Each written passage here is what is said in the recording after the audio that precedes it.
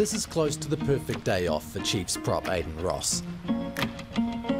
A game of fetch with dog honey back home at Mount Maunganui is a welcome relief from the vigours of Super Rugby in Hamilton.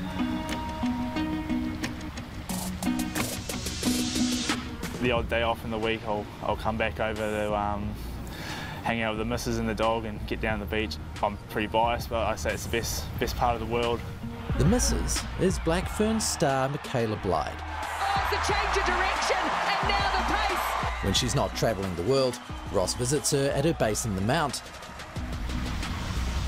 Despite growing up by the Bay of Plenty's beach paradise, Ross isn't a surfer and wasn't keen on the Mount's other iconic pastime.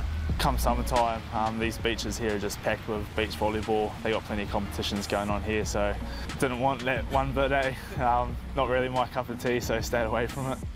When it came to sport, Ross preferred terra firma to the sand between his toes. And to chase his footy dreams in the Bay of Plenty, he had to leave the volleyball-obsessed Otumoetai College. Yeah, jump shipped over to Tauranga Boys where had a couple good seasons there at the footy and got a real taste of, I guess, that next level. Super 8's obviously a pretty big comp. The strong teams like Hamilton and Rotorua each week, it's, uh, it's a good level of footy to be playing. Decision helped launch his career.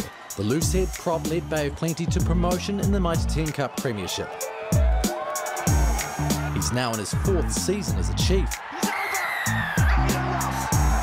But like too many Chiefs front rowers in recent years, he's had to overcome serious injury. His own player fell on him.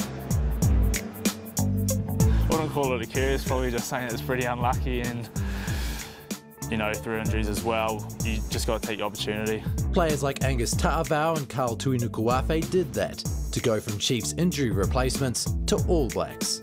Ross would like a similar rise, and all the game time he's getting should help. There's nothing better than um, coming off the field after a, like a 70 or 80 minute performance and knowing that you've just given everything and you can enjoy a, a beer in the change rooms with your mate and knowing that you've, you've worked hard that evening. The 24 year old has also loved learning off a head coach with the stature of Warren Gatland. Pretty handy having Gats there, knows his way around the scrum too. I think the main thing I take away from him is he's pretty honest. You know, it's sometimes the things you don't want to hear are the best learnings you get. The door's always open if you need a chat there. That helped after the Chiefs hit the ground with a thud at home against the Brumbies in round four. Easy as you like.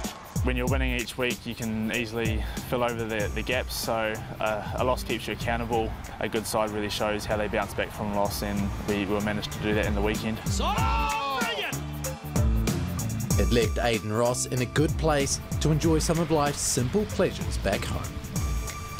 With a poop bag down the beach, scooping it up, and then um, running, running amok with her, there's just nothing like home.